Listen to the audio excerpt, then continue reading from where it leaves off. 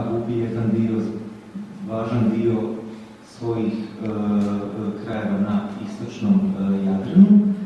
No ono što je puno više zanimalo, smatrao sam da je to u historiografiji ipak slabije obrađeno, a ima dosta arhivske građe, upravo stanje nakon kapitulacije Italije, koja je objavljena u rujnu 1943. i onda napori vlasti NDH da krajeve izgubljene rimskim ugovorima, a e, i neke druge na istočnom, istočnom Jadranu, da ih vrati u svoj sastav. E, tu bi se dakle prvo trebalo osvrnuti na okolnosti potpisivanja rimskih ugovora. E, dakle, imamo Antu Pavelića kao vođu te ustaške organizacije koji u Italiji u Jugoslaviji osuđena smrt, nakon maštinskog atentata zapravo u Italiji u poluizolaciji.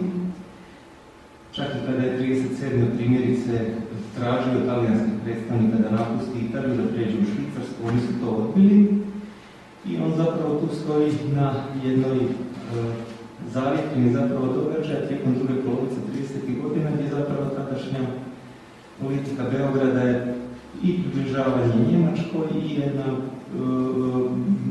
solidni odnosi sa Italijom lišeni onih prethodnih jugoslavensko-talijanskih nesuglasica. I sve se to mijenja nakon puča 27. ožujka marta 1941. kada dakle uh, sile osovine odlučuju napasti kraljevinu Jugoslaviju. I onda, kao što je vama sigurno poznato, kad nakon što Maček prve kontakte s Njemcima odbija da bi on došao na čelo te nove samostalne Hrvatske države koja bi nastala na ruševinama Jugoslavije, njemački predstavnici u Zagrebu se okreću toj domovinskoj ustaškoj skupini i 10. travnja proglašena je nezavisna država Hrvatska. Za to vrijeme Pavlić još u Italiji i tek tada on ponovno postaje zanimljiv italijanskim predstavnicima i oni vidjeći razvoj događaja u Zagrebu i proglašenje Hrvatske države, sada stavljaju akciju Pavelić i onu njegovu manju skupinu suradnika od nekoliko stotina ljudi koja je još u Italiji, koji se nisu vratili, ne znam, od 36. 7. kada su uh, Italija i Beograd sklopili sporazum o povratu znatnog dijela uh, Ustaša iz Italije u Jugoslaviju. Uh, te okolnosti kontakata Pavelića sa Galacom Čanom, talijanskim ministrom vanjskih poslova i nekoliko dodira dva razgovora s Mussolinijem neposredno prije povratka u Hrvatsku. Ti razgovori i neki drugi razgovori često su bili dakle, uh, uh, uh, predmet interpretacija i za vrijeme socijalističke Jugoslavije, a zatim dijelom i nakon 90. u historiografiji kako se tada Pavlić već e, dakle, obavezao i e, pristao s Talijanima, s Talijanima e, prepustiti dijelove na istočnom Jadranu. No, talijanski diplomatski dokumenti koji su objavljeni, to je ta edicija i, i dokumenti diplomatici italijani, gdje se vidi kako talijanski diplomate prate te događaje. Vidljivo je recimo kada Pavelić dolazi kod Mussolini 11. travnja, onda se jedna bilješka daje Mussoliniju i njoj je navedeno, pa nikad nismo s Pavelićem točno ni razgovarali o granicama, ali iz svih programatskih, e, programatskih e, dokumenta Ustaškog pokreta vidi se da on polaže pravo na cijelu obalu Jadrana od Sušaka do Boke Kotorske. I također u jednoj bilješci Ministarstva vanjskih poslova Italije s 13. travnja vidi se da kada već Pavlić kreće i napustio Italiju i prelazi na hrvatski teritorij, isto, dakle, tamo se navodi. Prvo pitanje priznanja Hrvatske države od e, e, strane kraljevine Italije mora biti razdvojeno od pitanja njene, njihovog razgraničenja, a drugo, nužno je da talijanska vojska što prije okupira sva područja uz istočnu Jadransku obalu, što bi otvorilo onda mogućnost mogućnost e, za jednu, jednu povoljnu italijansku poziciju u tom razgraničenju. I u takvim dakle, okolnostima e, u tim dokumentima nigdje se ne spominje barem da je Pavelić nešto tada obavezao Mussoliniju. Kao što znate, nakon tog Paternikovog proglasa u Zagrebu 10. travnja, vrlo je brzo na području dotadašnje Banovine Hrvatske došlo do Resula Jugoslavenske vojske i Hrvati, pripadnici te vojske, zatim pripadnici Hrvatske seljačke zaštite, ustaški predstavnici, oni su vrlo brzo na području dotadašnje Banovine Hrvatske preuzeli vlast. I tako je to bilo i u Dalmaciji. Već 11. 12. travnja zapravo je ta vlast nove Hrvatske države u skladu sa Patrinikovim proglasom uspostavljena i u Šibeniku i u Splitu. No, tada dolazi na to područje gdje bez većeg otpora Jugoslavenske vojske, pa kažem, već je doživjela jedno rasulo. Tada na to područje do kraja travnja dolazi italijanska vojska. Ona, dakle, duž cijelog tog područja, od Gorskog kotara, Ogulina, Like, e, preko Knina, Sinja, sve do Mostara i Dubrovnika, zapravo tu hrvatsku vlast potiskuje s tog područja i u takvim okolnostima nastupaju pregovori.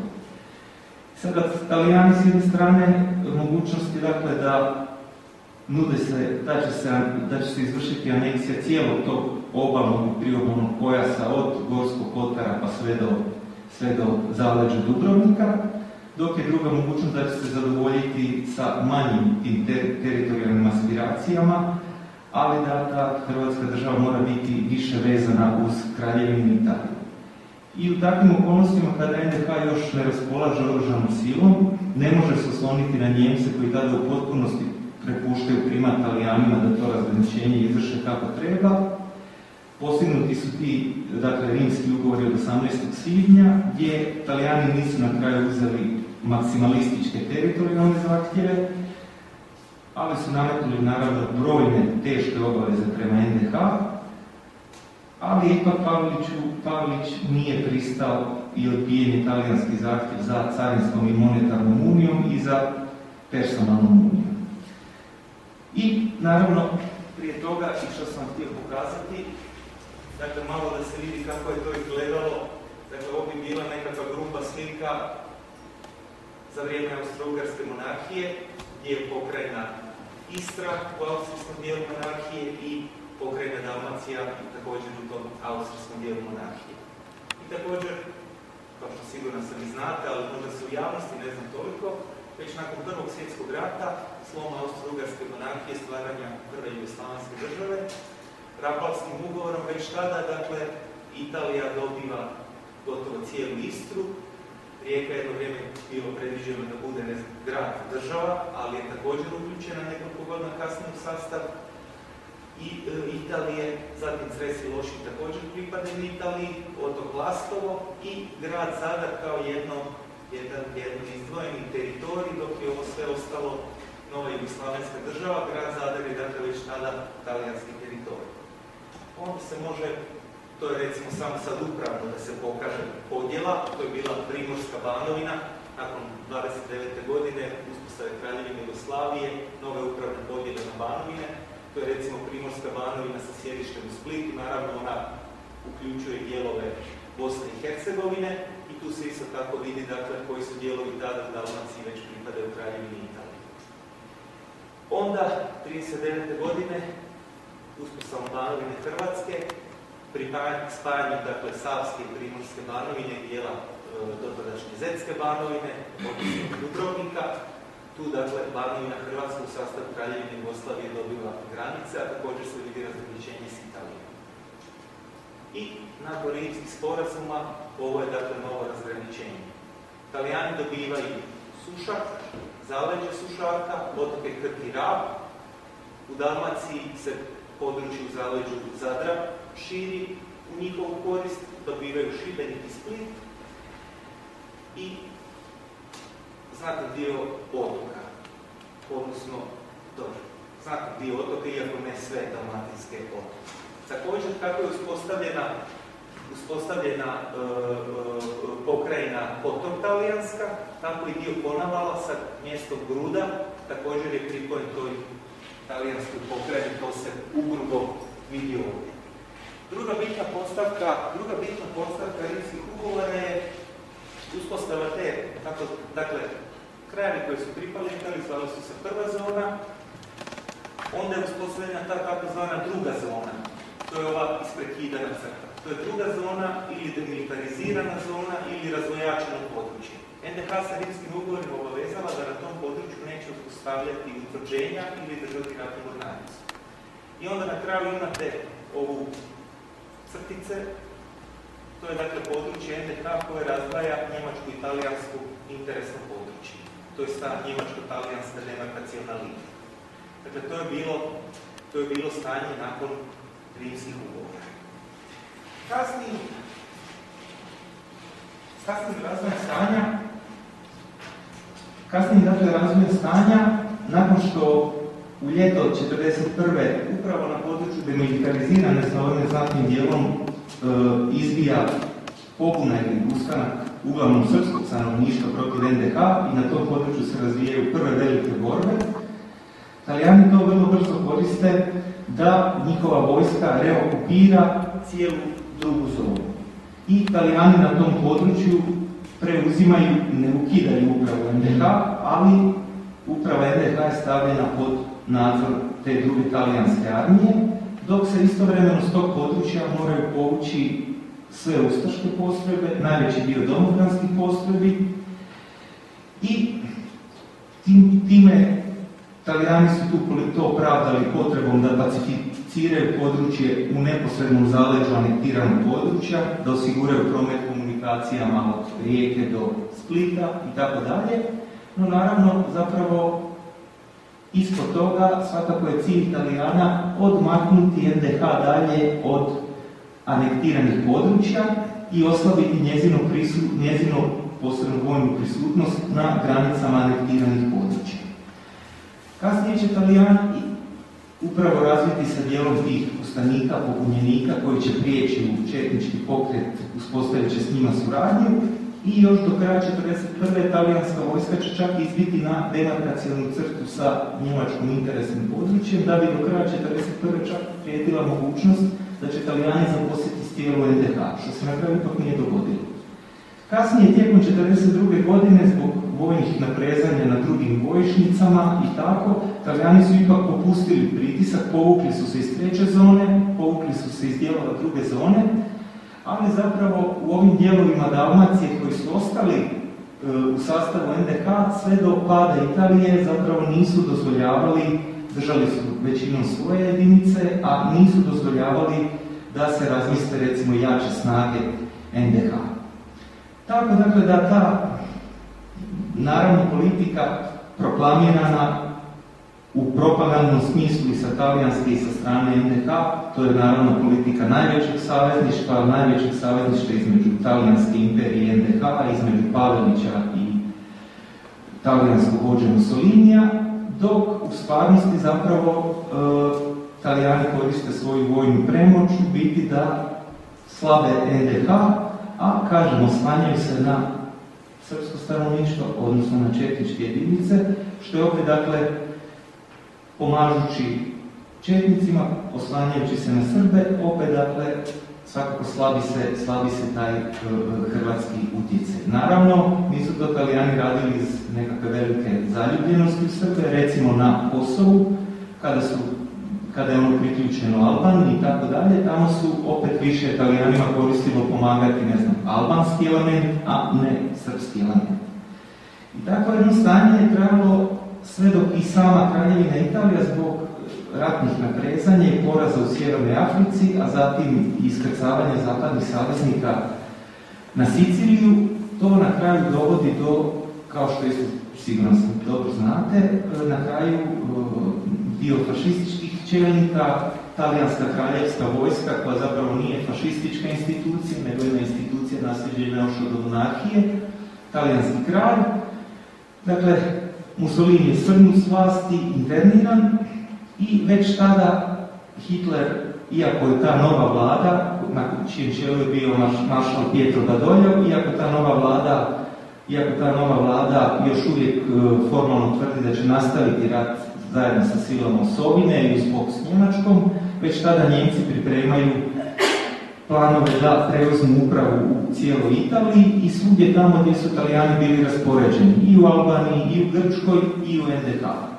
A kako bi se ispriječilo eventualno da ta talijanska vojska prelazeći na stranu saveznika, da se ne otvori onda zapravo mogućnost i zapadnim saveznicima, recimo da se iskrcaju na Jadranu ili, ili u Istri i tako dalje. I u tom smislu i njemačka strana je sada e, puno spremnija slušati e, e, interese tadašnjeg Zagreba i već se onda otvara mogućnost da kada Italija ispadne iz tabora sile osobine, da će NDH dobiti nazad krajeve koji izgubila na Jadran.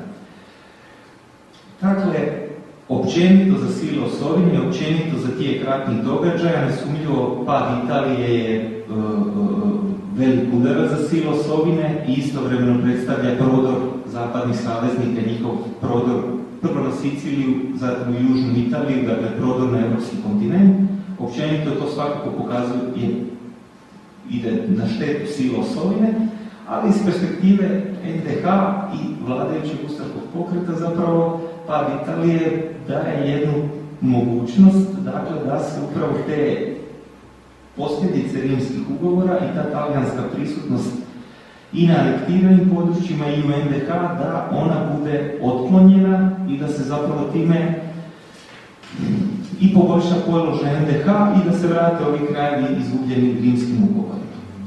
I na kraju, odmah nakon što je 8. rujna 1943. objavljeno da je vlada Mašala Dolja potpisala e, sporazum o primjeru sa zapadnim saveznicima, Pavelić je u kontaktu sa Berlinom, tada se iz Berlina daju jamstva NDH na, za krajeve na Jadranu i u jedan sat ujutro 9. rujna 1943. preko radio postaje Zagreb, Pavelić je držao govor i on navodi da, je, da su Italijani svojim postupkom prelaskom na stranu zapadnih saveznika razriješili NDH obaveza rimskih ugovora i da mu je Hitler javio da priznaje NDH granice koje su uh, granice uh, prethodno ocijepljenih hrvatskih krajeva na Jadranu. U tom smislu Pavlić je 10. rujna dao jednu državnu pravnu izjavu kom je rimske ugovore proglasio ništetnima. I, dakle, talijanska vojska kapitulira, partizanski pokret koji u međuvremenu djeluje na, razvije se na području Dalmacije, koristi tu mogućnost i ne samo na području Dalmacije, nego i Hrvatskog primara i tako dalje. Talijanska vojska je dezorientirana, kapitulirala je, ona ima dosta naravno naoružanja, partizani to koriste i za preuzimanje naoružanja i za mobilizaciju ljudi u svoje redove i u Dalmaciji posebno što je bitno, partizani od Talijana dobivaju, predajem se, predajem se grad Split, italijanska divizija koja je bila u Splitu predala se partizanima.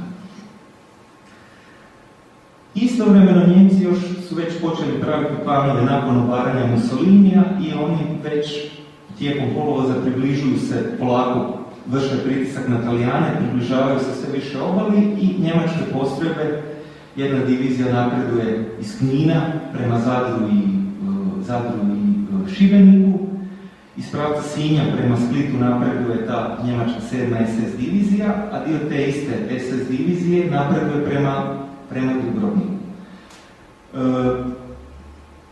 I dok, dok, su, dok su Njemci bez većeg otpora ušli u Šibenik i ušli u Zadar, također i u, Dubrovnik, gdje su Italijani čak pružili manji otpor. Tu, u tim gradovima Njemci su brzo ušli i zarobili su više desetaka tisuća talijanskih vojnika koji su zatim otpremljeni u njemačke zarobljeničke logore.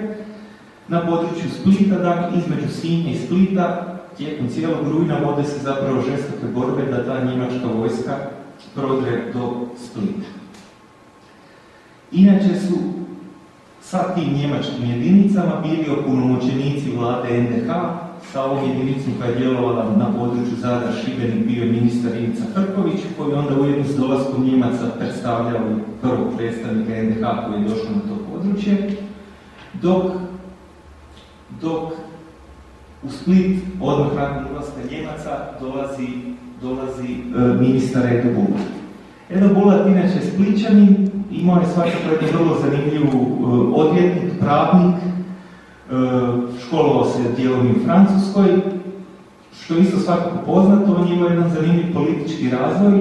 Nakon uspostave Jugoslavenske države, on zapravo uključuje se u organizaciju jugoslavenskih nacionalista, Orjunu, dakle pobornike integralnog jugoslavenstva, pobornike demokratske stranke, ali onda postupno tijekom 20. 30. godina prvo odlazi u samostalnu demokratsku stranku, zatim prelazi u Hrvatsku seljačku stranku, da bi na kraju prije drugog svjetskog rata pristupio Ustaškom pokretu, što je svakako od jednog integralnog Jugoslavena do jednog hrvatskog nacionalista opredjeljenog za Hrvatsku državu svakako jedan veliki raskol. Ali ne može se, ne bih rekao da je to sasvim jedinstven primjer samo za njega. Na kraju krajeva možemo se sjetiti Ante Trumbića koji isto u svom ranijoj etapi svog političkog života isto je zagovornik Jugoslavenske države, protivnik Austro-Ugarske države, postaje ministar vanjskih poslova prve Jugoslavenske države i tako dalje, da bi onda opet sa tim jednim e, razočaranjem, stanjem, stanjem političkih odnosa, srpske dominacije i srpske politike u prvoj Jugoslavenskoj državi, na kraju opet došao do jedne oporbe beogradskom režimu, pa čak i do nekih kontakata sa ustaškim. Dakle, ovo je, ovo je snimljeno na uh, Markovu trgu, tu u blizini nas. Mislim da se trg tada zvao trg Stjepana Radića i to su danski dvori, onda su se zvali poglavnikovi dvori i to je snimano, to je snimljeno dakle 9. rujna u prijepodnevnim satima, dakle nakon ove Pavlićeve, Pavlićeve objave na radiju i objave talijanske kapitulacije okupljeni su dalmatinski, jadranski istarski Hrvati koji su tada bili u Zagrebu i ministar Bulat, dakle, e, on, on ih je dakle doveo na tu jednu manifestaciju u Paveliću, gdje je i Pavelić održao govor Bulat, i gdje se dakle, i gdje se dakle, i gdje se dakle, ovaj, gdje se dakle, e,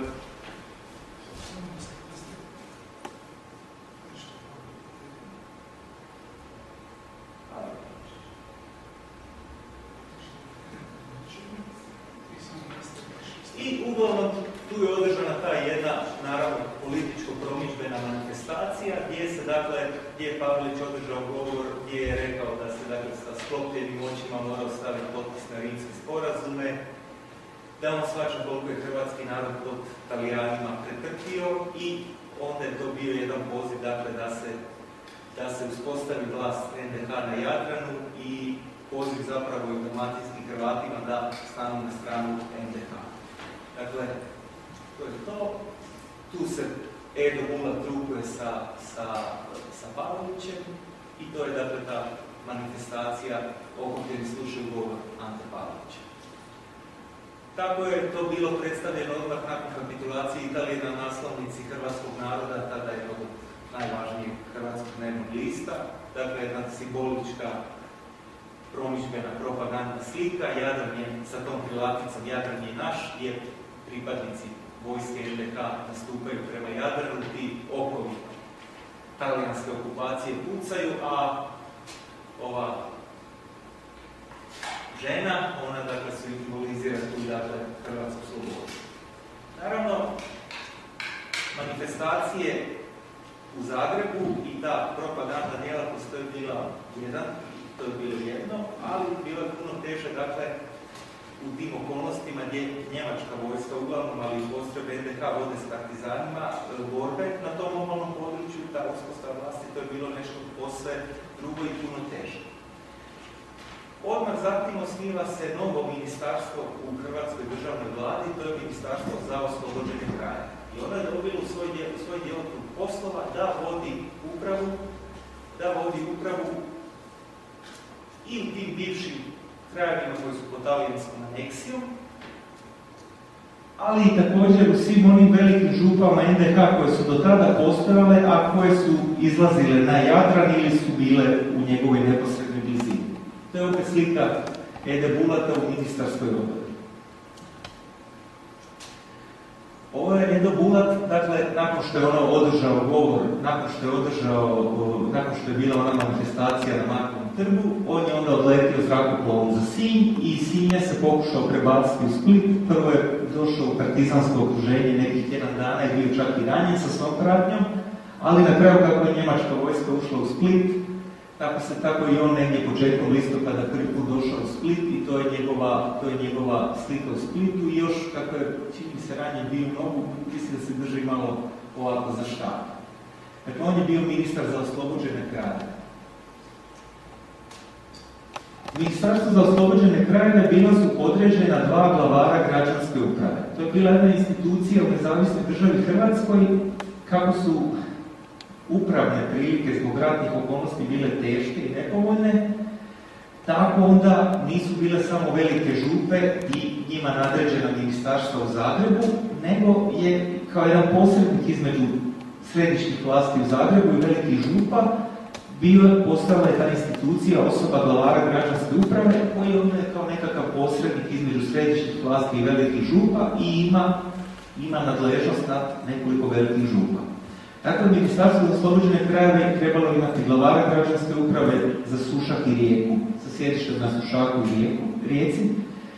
E, na njegovom čelu trebao se nalaziti Oskar Turina, dok je drugi glavar e, građanske uprave trebao imati sjedište u Splitu i to je bio Bruno Nardelli. Bruno Nardelli inače, barem koliko mi je poznato, i nije bio za prisjednuti član Ustaškog pokreta, ali još 1941. godine, ono odmah nakon proglašenja NDH prije dolaska Talijana, e, bio je kratko vrijeme gradonačelnik Splita, kad su Talijani potpuno preuzeli vlast, on se sa svojom obitelji iselio i radio je u Zagrebu u Ministarstvu vanjskih poslova, zatim je radio, čini mi se, kod tajnik stola Sedmorice i onda nakon pada Italije on dolazi dakle e, na dužnost glavara građanske uprave u Splitu. I on je onda, isto zrakoplov negdje u listopadu mjesecu, došao u Split i bio je na toj dužnosti negdje do svibnja, lipnja 1944. godine. Inače, smatram, jedan, ovdje ga se vidi na slici u, sredini. Dakle, tu je ovaj gospodin sa vrčićima, lijevo je za vrijeme te uprave NDK 43. 4. splitski gradonačelnik Stjepan Vukušić, inače dočekao je dolazak partizana u gradu bio strijeljan, Nardelli u sredini, a desno je jedan, jedan njemački časnik. I inače za Nardelija se može reći, barem po svemu što sam vidio po dokumentima i po njegovom općenitom djelovanju, može se reći jedan vrlo, vrlo obrazovan čovjek, uh, jedan vrlo umjeren čovjek koji je, pa tako rekao bih, u jednim vrlo teškim okolnostima u kojima je djelovao u Splitu kao vladar građanske uprave, trudio se dakle zaista djelovati na korist stanovništva tog područja. Sa padom Italije i dakle e, priključenjem tih krajeva koje su vlasti NDH kažem zvali oslobođeni krajevi mijenjala se i ustroj velikih župa na tom području. Dakle, ovo je stanje velikih župa nakon rimskih ugovora 1941.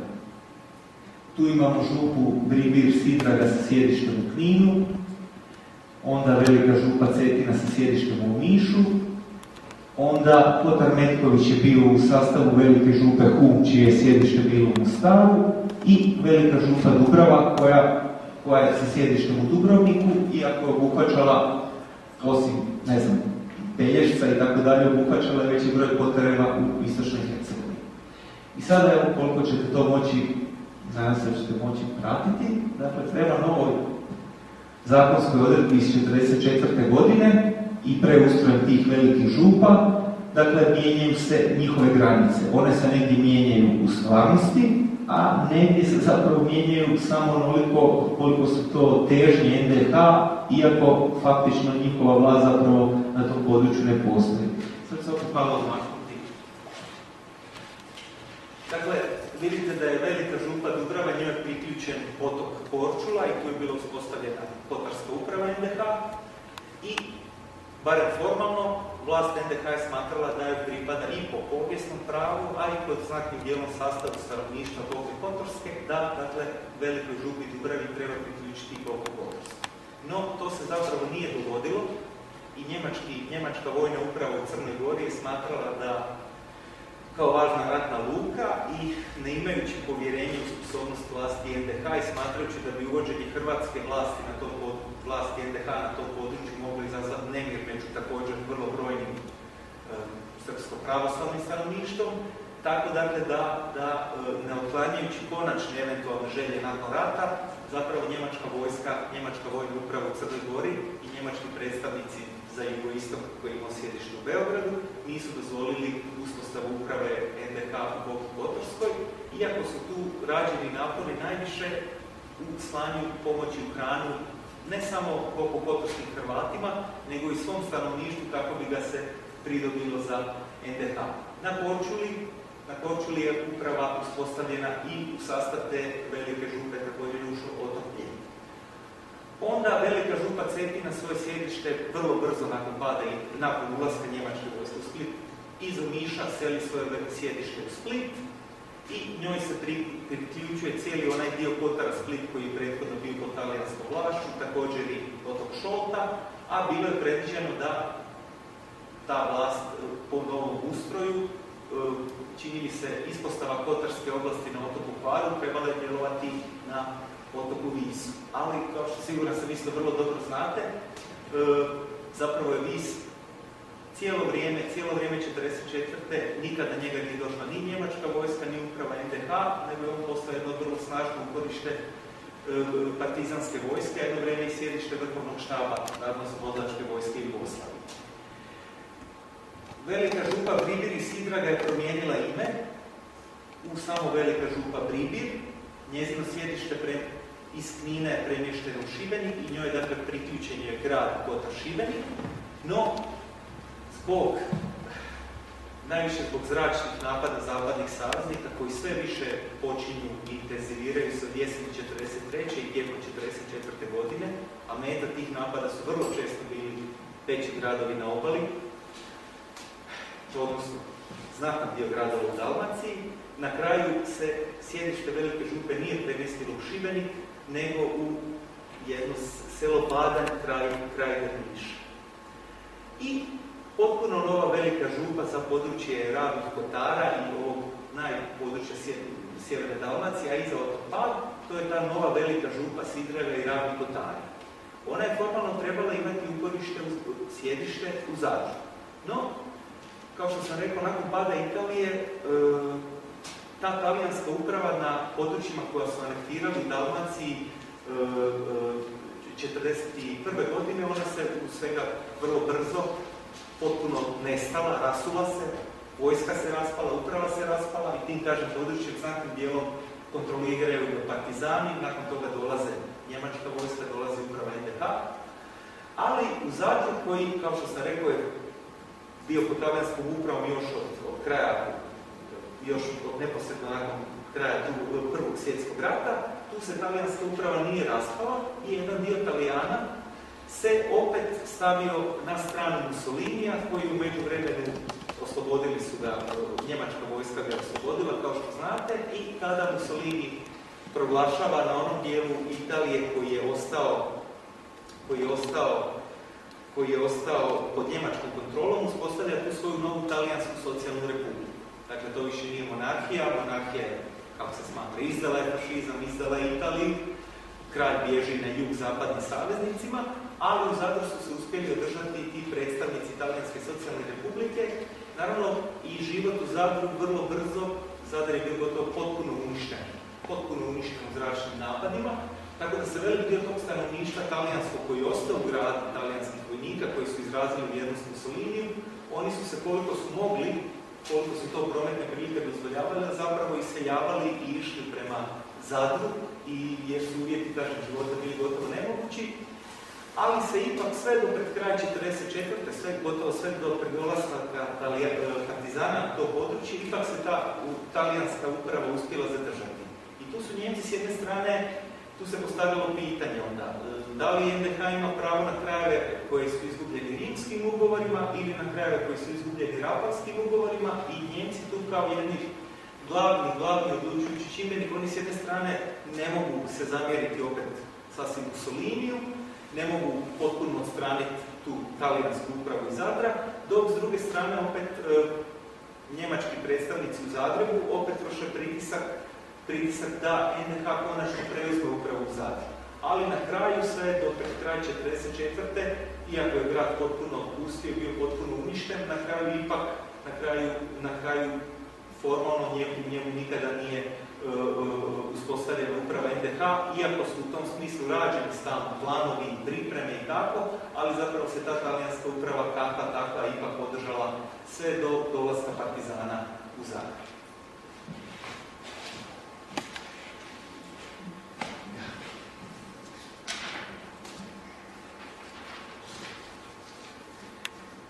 Sada, ovaj, evo, da, mislim da ovo ide sad puno, puno mi ide ovaj, sporije nego što sam mislio. Tako da, mislio sam vam nešto reći kako je bilo stanje na, na e, sjevernom Jadranu, na području Sušaka, Rijeke i Istre, ali evo, na tom području su Njemci postavili svoje operativno područje Jadransko primorje, dakle to je dalje ostao dio te Mussolinijeve republike, ali u biti glavnu vlast imaju, imaju Njemci. I Pavlić je tu, dakle, e, e, već 12. rujna čini mi se uputio brzo Hitleru. E, dakle, to je, to je dakle, želim reći i Zadar, otprilike razgraničenje Zadra kako je bilo za vrijeme od 21. do 41. I onda nakon 43. opet se zapravo to svelo da su Italijani držali vlast na tom području. Tu, dakle, bilo je, bilo je, bilo je, to je to njemačko operativno područje Jadransko primorje, koje je obuhvatilo veći dio tih do tada talijanskih pokrajina i to su ostale talijanske pokrajine, ali pod njemačkom upravom. I sada da skratim, dakle, 12. E, rujna čini mi se Pavlić je već, Pavlić je već e, uputio brzo Hitleru i onda zahvalio se za su pomoć koju je njemački raj pružio NDH u povratku svojih krajeva na Jadranu, ali je također zatražio, predložio mu je da bi bilo pravedno da istočni dio Istre, čime, kako je rekao, ničija prava ne bi bila okrnjena, ako je većinski talijansko stanovništvo, mada ima i Hrvata i Slovenac u zapadnom dijelu, da njemački raj da svoj dobrostivi pristanak da bi se ovako povukla granica u Istri između nezavisne države Hrvatske i Italije. No, Hitler je taj prijedlog odbio s obzirom na ovo prethodno proglašeno e, operativno područje Jadranskog primorja. Kasnije, tijekom 1944.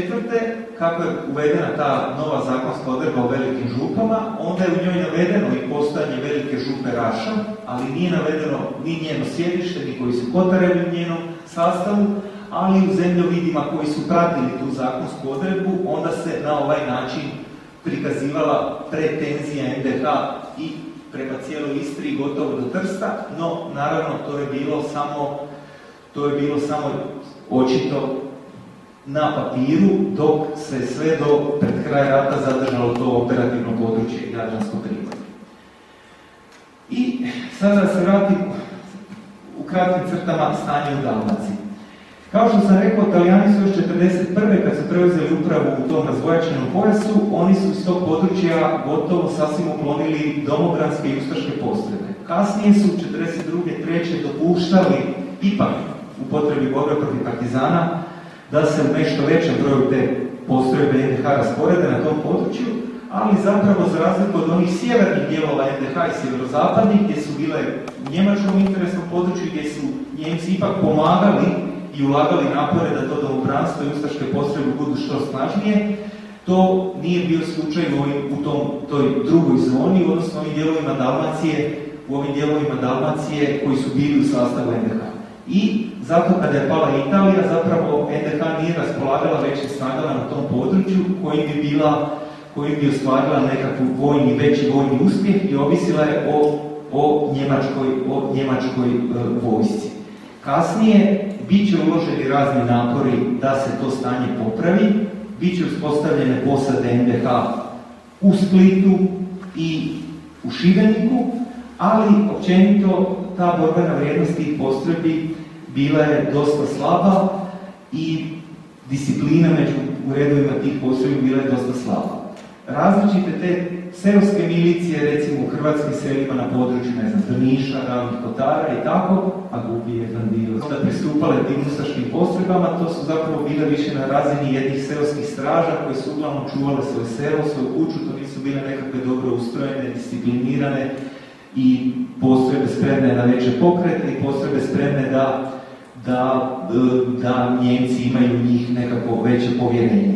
Početkom 1944 osnovano je to jedno novo zapovjedništvo Veleni Dinara, na čijem se čelu nalazi ustaški pukovnik Vjekoslav Servaci. Tu ga vidite, to je slika iz jednog filmskog žurnala NDH, ili kao se govorilo hrvatskog slikopisa. On je lijevo i razgovara, razgovara sa stanovništvom u Sjevernoj Dalmaciji. On je donio na to područje, ne znam, i odore, i došlo je jedan veći broj ustaških časnika, i pokušalo se izvršiti mobilizaciju hrvatskog stanovništva ustaške postrebe, ali zbog cijelog niza razloga u tome su postignuti vrlo, vrlo slabi rezultati. Tako da su postrebe NDH i nakon kapitulacije Italije, iako su formalno bile prisutne i na duž obalne linije, imale posade, kažem, u Splitu, u Šibeniku, njihova borbena vrijednost općenito bila je dosta slaba. Kako NDH rimskim ugovorima nije smjela držati mornaricu, tako je za NDH i iz vojnih razloga i iz vojnih razloga, ali i iz političkih, propagandnih razloga bilo svakako važno da konačno na Jadranu pokažu se pripadnici mornarice NDH.